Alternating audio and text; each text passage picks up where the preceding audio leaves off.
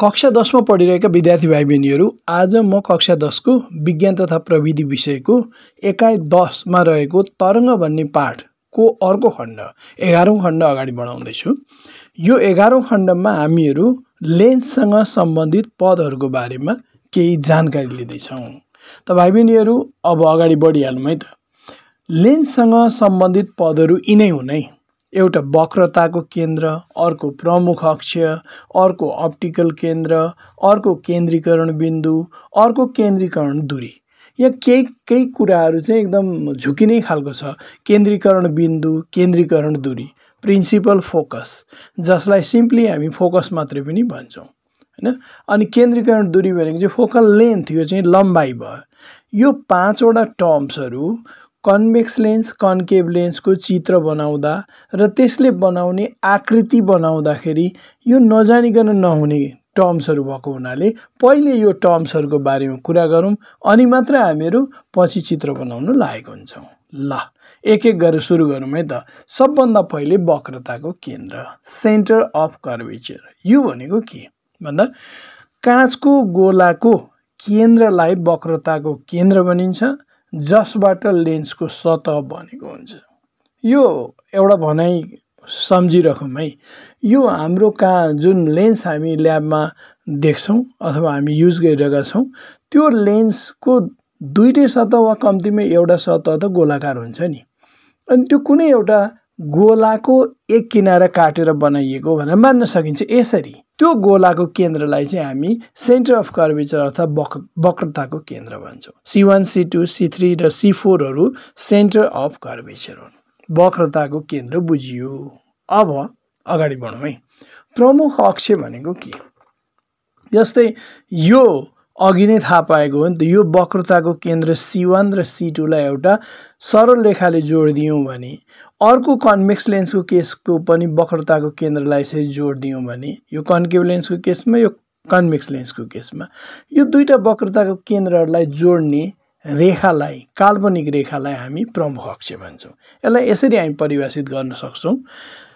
लेन्सको दुई सतहहरूको वक्रताको केन्द्रहरूलाई जोड्ने रेखालाई लेन्सको के भनिन्छ? प्रमुख अक्ष भनिन्छ। त्यसैले सी वान सी टू चाहिँ यहाँ प्रमुख अक्ष। यो कन्केभ लेन्सको केसमा पनि मैले देखाएँ र कन्भेक्स लेन्सको केसमा पनि देखाएँ। त्यो लेन्सको सतहको केन्द्र चाहिँ वक्रताको केन्द्र अनि त्यो सतहको केन्द्रलाई जोड्ने रेखा चाहिँ के? प्रमुख अक्ष। यसलाई जति पनि लम्ब्याउन सकियो आवश्यकता अनुसार अर्को पदतिर लाउँ लागौँ है। अप्टिकल केन्द्र अप्टिकल सेन्टर भनेको चाहिँ के? यसरी हेर्नु यो एउटा कन्भेक्स लेन्स। यो मैले यसलाई ठिक बिचमा बाइसेक्ट गरेँ। हामीले लेन्स बनाउनु जहिले पनि मोटाइबाट बनाउँछौँ बाइसेक्ट गरेर दुई भागमा बाँडेँ। अब यो प्रमुख अक्ष अघि भर्खर परिभाषित गरियो नि वक्रताको केन्द्रलाई जोड्ने एउटा रेखा भनेर। त्यसै गरेर यो कन्केभ लेन्स यसमा पनि मैले यसलाई बाइसेक्ट गरेँ दुई भाग हुने गरी बाँडेँ।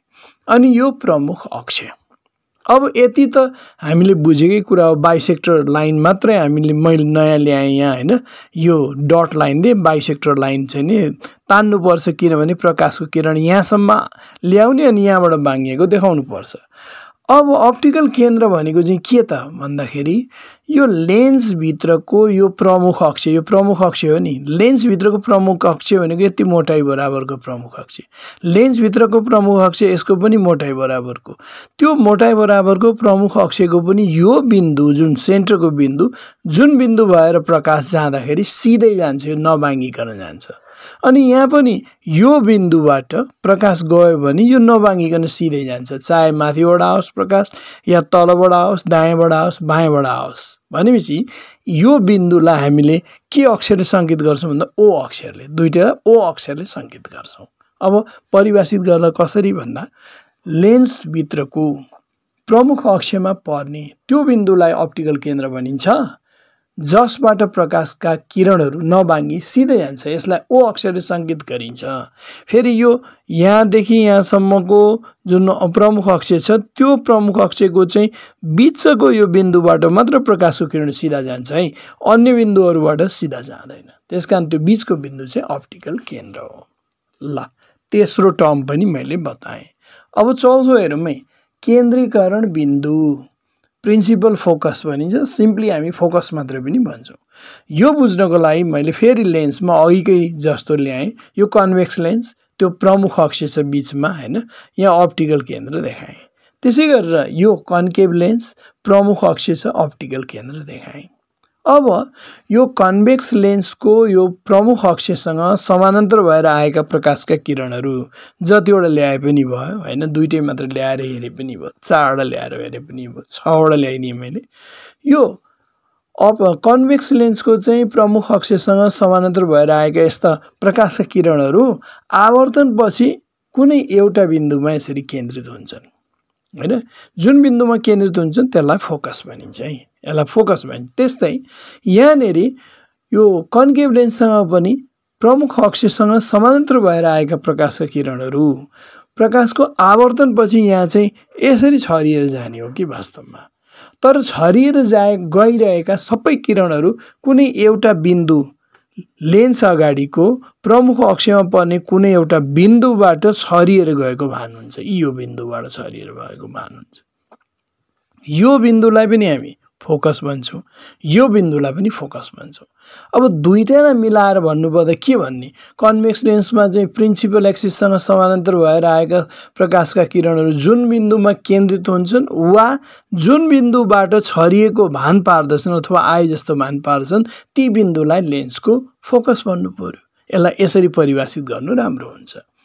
लेन्सको प्रमुख अक्षसँग समानान्तर भएर आएका प्रकाशका किरणहरू प्रमुख अक्षमा रहेको जुन बिन्दु भएर आवर्तन हुन्छ यो कन्भेक्सको केसमा जुन बिन्दु भएर आवर्तन हुन्छ वा जुन बिन्दुबाट आएको भान पर्दछ जस्तै यो कन्केभको केसमा चाहिँ यहाँबाट गएको जस्तो भान पर्छ यहाँ पुग्दै पुग्दैन वास्तवमा त्यस बिन्दुलाई लेन्सको केन्द्रीकरण बिन्दु भनिन्छ। यसलाई एफ अक्षरले सङ्केत गरिन्छ।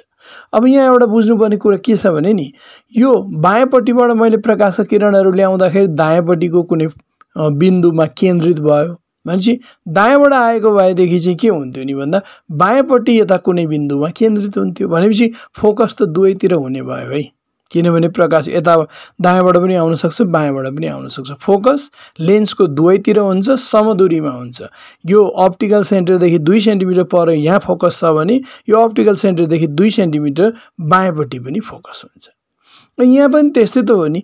यो बायाँबाट आएको प्रकाशको किरण लेन्स अगाडिको कुनै बिन्दुबाट छरिएर गएको भान भयो नि विकेन्द्रित भएको भान भयो त्यो बिन्दुलाई फोकस भन्यो यदि दायाँपट्टिबाट प्रकाशको किरण आएको भएदेखि दायाँपट्टि नै रहेको कुनै एउटा बिन्दु प्रमुख अक्षमा हुने बिन्दुबाट छरिएर गएको भान पार्थ्यो र फोकस चाहिँ नि दायाँपट्टि हुन्थ्यो। त्यसैले गर्दा लेन्सको चित्र बनाउँदा दायाँ बायाँ दुवैतर्फ फोकस बनाउनुपर्छ समदूरीमा कहाँदेखि दुरी नाप्ने भन्दा जहिले पनि दुरी लेन्सको नाप्दाखेरि अप्टिकल सेन्टरदेखि नापिन्छ। यहाँ फोकससम्मको दुरी नापिन्छ वस्तुसम्मको दुरी नापिन्छ अनि आकृतिसम्मको दुरी नापिन्छ यो कुरा याद गरौँ। अब अझ अगाडि बढौँ है। केन्द्रीकरण दुरी। यो कुनै कन्भेक्स लेन्स यो बाइसेक्टर यो मैले प्रिन्सिपल एक्सिस प्रमुख अक्ष देखाएँ। यो कन्केभ लेन्समा पनि बाइसेक्टर राखेर प्रमुख अक्ष देखाएँ। अब यो अप्टिकल सेन्टर हो नि त यो अप्टिकल केन्द्र भयो। अनि यो कन्केभ लेन्समा पनि त यो अप्टिकल केन्द्र यहीँ बिचमा हो यो सानो ठाउँ भएको हुनाले मैले बाहिर ओ लेखिदिएँ होइन? अब यो अप्टिकल केन्द्र हो भने यहाँनिर फोकस छ अरे मान दुवैतिर बनाउनु पर्छ भनिसकेँ नि मैले बराबर दुरीमा। फोकस छ अरे। त्यस्तै यो कन्केभ लेन्सको केसमा पनि दुईतिर बराबर दुरीमा छ अरे फोकस होइन?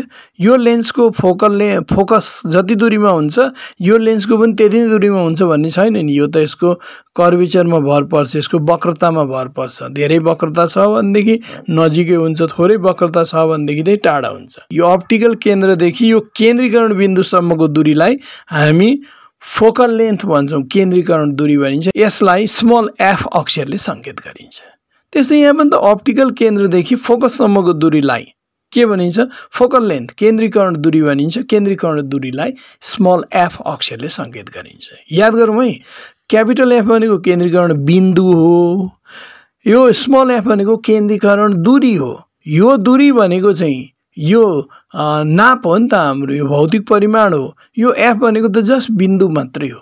अब यो पनि हामीले अप्टिकल केन्द्रदेखि दायाँपट्टि नापे पनि भयो बायाँपट्टि नापे पनि भयो। यो दुइटै लेन्सको लागि उही कुरा भयो अब यसलाई परिभाषित कसरी गर्ने हेरौँ है लेन्सको अप्टिकल केन्द्रदेखि केन्द्रीकरण बिन्दुसम्मको दूरीलाई केन्द्रीकरण दूरी भनिन्छ। यसलाई के? एफ अक्षरले सङ्केत गरिन्छ। त यसरी मैले लेन्ससँग रिलेटेड पाँचवटा महत्त्वपूर्ण पदहरू बताएँ। अब लेन्स बनाउने साथ यिनीहरूमध्ये कयौँ टर्म्सहरूलाई हामीले ठ्याक्क देखाइहाल्नुपर्छ। त्यसैले पहिले यो जान्नु जरुरी भएको हुनाले मैले बताएँ त। ल आजलाई यति नै। फेरि अर्को क्लासमा भेटौँ है।